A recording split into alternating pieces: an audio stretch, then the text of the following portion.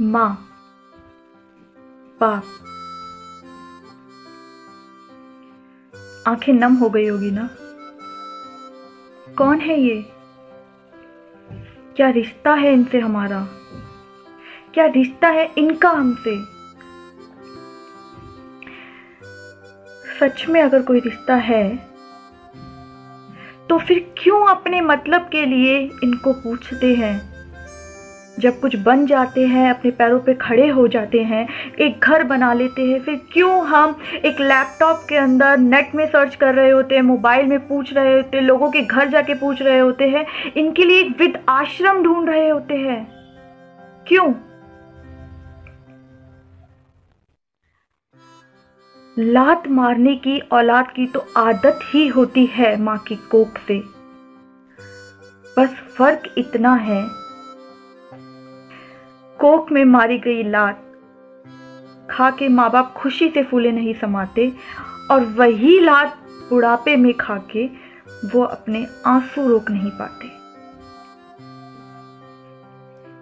एक बड़े बुज़ुर्ग की उंगलियों में ताकत तो नहीं होती, पर सच कहती हूँ, उसके कांपते हुए हाथ जब मेरे झुके हुए सर पे पड़ते हैं तो मानो ज़िंदगी भर की दुनिया भर की मुझे दौलत ही मिल गई हो।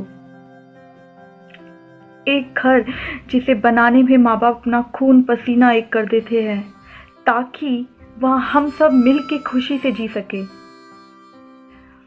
पर उसी घर के लिए हम सभी ने लड़ते हुए देखा होगा कि इसमें इतना मेरा हिस्सा है, इसमें इतना मेरा हिस्सा है।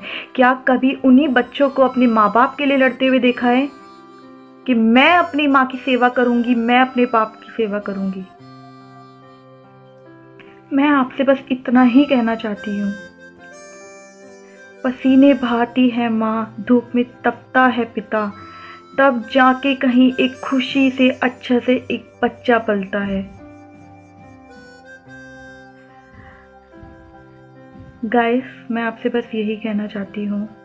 अगर ये मैसेज से मेरा, आपको समझ पा रहे हैं, आपको लगता है कि मेरे इस मैसेज से किसी का अच्छा हो सकता है तो प्लीज़ शेयर कीजिए।